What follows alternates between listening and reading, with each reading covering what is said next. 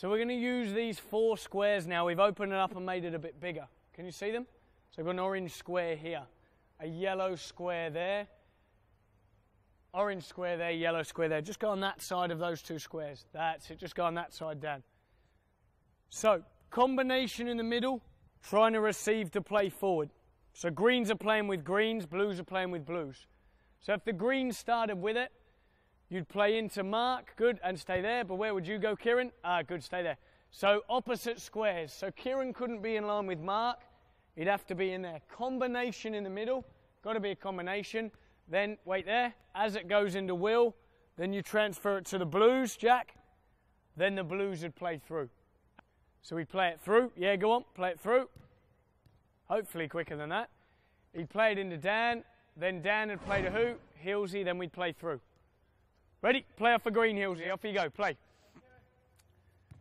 Good. Now you're getting ready to move, Blues. And play, and play. Good. You can get in their way, Greens. Just get in their way.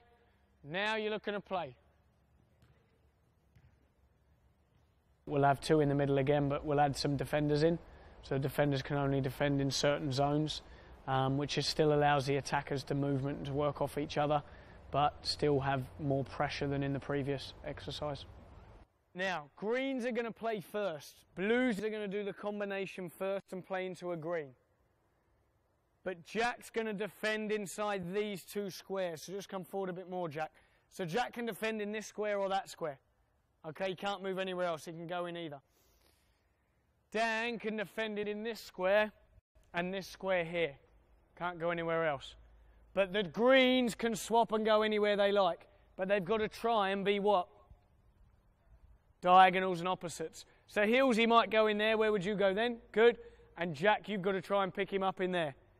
Blues, if you win it, feed it to the blue on the outside. That's how you score. Greens, you score by transferring it and going end to end. Good. Good, Hilsey. Can you find the M men? Yeah, it's a one. Play on, play on. Good.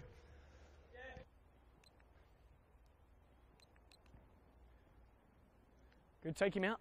Oh, Mark, he might go in there. He might go in there. Keep swapping, keep changing it.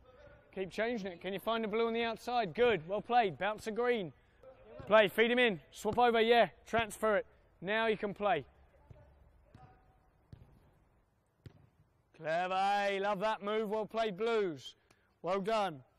What we're looking at is combination play, so players' receiving skills, um, moving as the ball travels, um, being able to play forward whenever they can and see both targets.